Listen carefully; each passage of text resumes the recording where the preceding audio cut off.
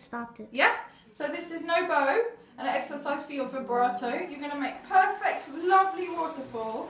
And the muscles you're using are your bicep and your tricep. So only these big muscles and we're only moving at that elbow. You're going to imagine that all of this is in a plaster cast.